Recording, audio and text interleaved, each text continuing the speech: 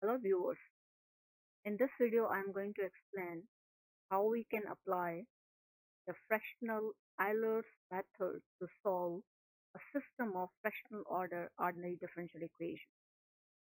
So as you can see on the screen, we have a paper published in 2010 with the title Analytic Study on Linear Systems of Fractional Differential Equations. From this paper, I am going to choose a linear system.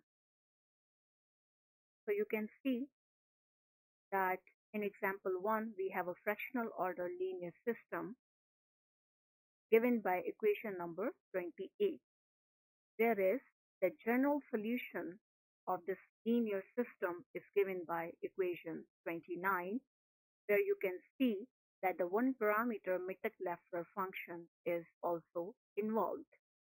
So if the initial conditions as shown by equation number 30 are used, the system is found to have a unique particular solution as can be seen in equation number 31.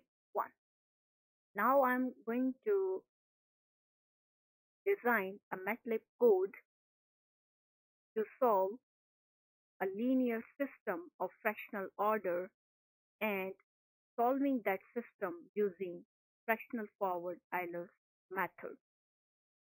So I'm going to open the MATLAB M file where you can see that line number 5 for example let me change the step size to be 1 upon 10 the first value of the independent variable t is 0 the first value of the first dependent variable is 1.2 and the second dependent variable value is 4.2 so our initial condition. The fractional order alpha I have taken as 0.85 and the total integration interval is taken to be 0 to 1.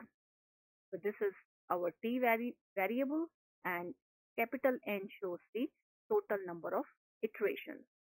Now here as you can see I have mentioned the exact solutions for my first dependent variable x and for my second dependent variable y as given in the research paper.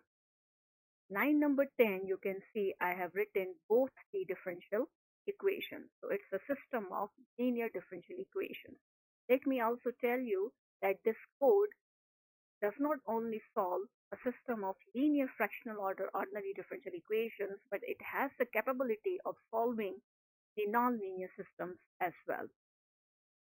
So the fractional Euler's method for the system of ordinary differential equations is given by this loop, where this line number 14 is the fractional Euler's method for the first dependent variable and similarly on line number 15 we have the fractional Euler's method for our second dependent variable. So this is these couple of lines are very important to understand the simulations of the system. Now, I'm interested in finding the absolute error.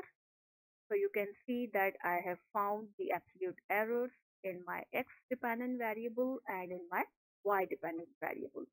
Now from all of these uh, absolute errors, I'm going to find out what is the last absolute error in the dependent variable and as well as in the first dependent variable and as well as in the second dependent variable and also I have found what which one is the maximum error in both dependent variables.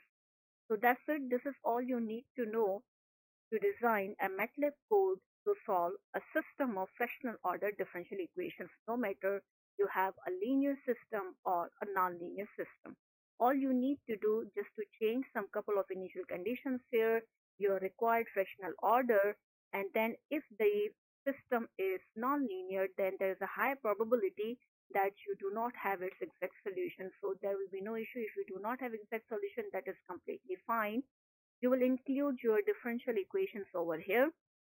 And then you will have to write down the equations the method, the fractional Euler's method, the way I have written here. So no matter if you have two equations in your system or you have eight equations in your system, you can write down those equations within this for loop. Fine, so now let me run this uh, M file and let's see what is the what are the errors as I have uh, computed here. So now I have pressed the run button and now I'm going to open this command window. You can see that the last error in my first dependent variable is 5.9148 10 to the power minus 2. Similarly, in my second dependent variable, maximum error in my first dependent variable, and this is the maximum error in my second dependent variable. Now let's go to the M file again. If I decrease the step size, I should expect a decrease in the absolute errors as well. So let's run the file again and now you can see on the command window, yes, the absolute errors are decreased. So you can keep decreasing the, step size and then run the script again. You will see that the errors are also decreasing. So that's it. This is all you should know how to design a fractional forward Eulers method for a given linear or nonlinear fractional order system of ordinary differential equations. Thank you for watching.